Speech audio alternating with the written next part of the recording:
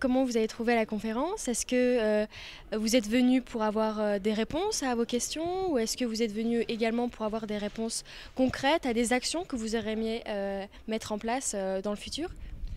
Bonjour, bah, je trouve euh, la conférence fort intéressante. Moi, je suis venue en fait pour euh, m'élargir l'esprit. Je travaille depuis peu au plan jeunesse en Fédération Wallonie-Bruxelles, donc un plan pour les 12-25 ans.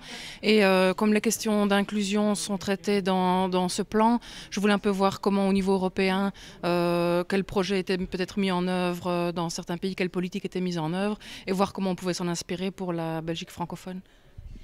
D'accord. Et est-ce que vous avez eu des idées euh, Est-ce que ça vous, a donné des idées euh, concrètes, j'allais dire? On a parlé beaucoup d'éducation, euh, comme quoi il y avait également des différences entre les, étudiants avec un, background immigré.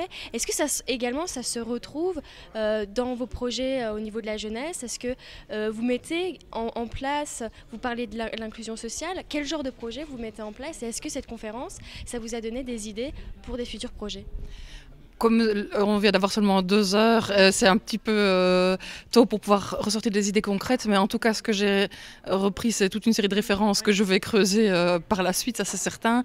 Et bah, les points de vue adoptés étaient vraiment intéressants, se baser plus sur ce que les gens d'origine immigrée peuvent apporter, tout ça, bah, c'est déjà dans les politiques, c'est déjà présent, mais je pense qu'on peut peut-être remettre un focus plus grand sur ça.